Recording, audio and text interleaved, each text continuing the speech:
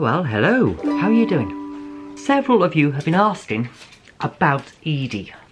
I've had several emails every month from people asking about Eday and what it's like to live here, what the facilities are, how to get supplies, coal and food onto the island and what is there to do and if I can show you some of the local scenes and scenery of this wonderful island. So I thought today I'm going to go and take you lots on a wee adventure.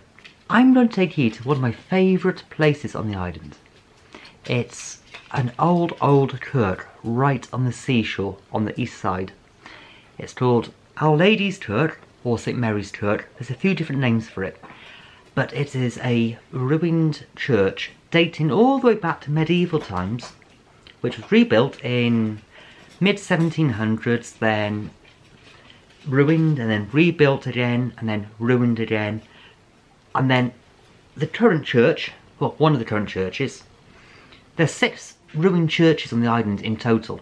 One is still in use, so it's not ruined. So there's so there's quite a few churches on the island that are in various states of decay. But this is probably one of my favourite places.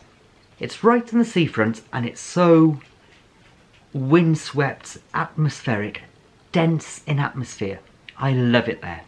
I often go there for a a bit of quiet contemplation, a bit of rugged peacefulness. It's so windswept. The gravestones, the markers are magnificent.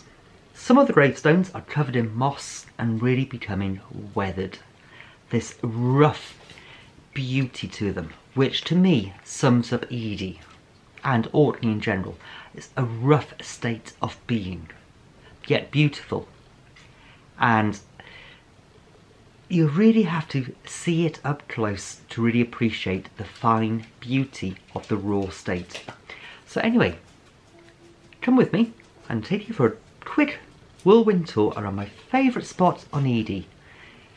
St Mary's Church, Our Lady's Kirk, or otherwise known as the Old Old Old Kirk.